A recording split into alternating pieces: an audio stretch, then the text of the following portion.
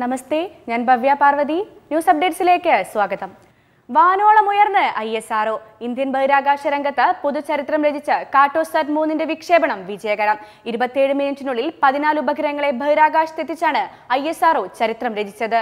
രാവിലെ ഒമ്പത് ഇരുപത്തെട്ടിന് സതീഷ് ധവാൻ സ്പേസ് സെന്ററിൽ നിന്നാണ് P S L V C നാൽപ്പത്തേഴ് റോക്കറ്റ് കാർട്ടോസാറ്റും മറ്റ് പതിമൂന്ന് ഉപഗ്രഹങ്ങളുമായി കുതിച്ചുയർന്നത് ചന്ദ്രയാൻ രണ്ടിനു ശേഷമുള്ള ഐ എസ് ആർഒയുടെ നിർണായക ഉപഗ്രഹ വിക്ഷേപണ ദൗത്യത്തിനാണ് ശ്രീഹരിക്കോട്ട ഇന്ന് സാക്ഷ്യം വഹിച്ചത് 10, 9, 8, 7, 6, 5, 4, 3, 2, 1, 0.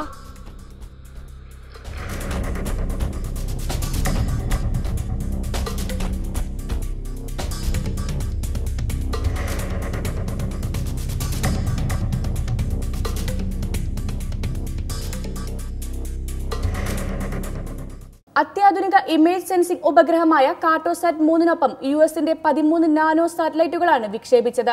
വിവിധ തലങ്ങളിൽ ഭ്രമണപഥം ഉയർത്തൽ കൂടി നടപ്പാക്കി അഞ്ഞൂറ്റമ്പത് കിലോമീറ്റർ ഉയരെയുള്ള സ്ഥിര ഭ്രമണപഥത്തിലാകും കാർട്ടോസാറ്റിനെ എത്തിക്കുക. ഉയർന്ന റെസല്യൂഷനിൽ ഭൂമിയുടെ സൂക്ഷ്മമായ ചിത്രങ്ങൾ പകർത്താൻ ആയിരത്തി അറുന്നൂറ്റി ഇരുപത്തഞ്ച് കിലോ ഭാരമുള്ള കാർട്ടോസാറ്റിന് ശേഷിയുണ്ട്. ഭൂവിനിയോഗം നഗരാസൂത്രണം തീരപരിപാലനം എന്നിവയ്ക്കും പ്രയോജനപ്പെടും.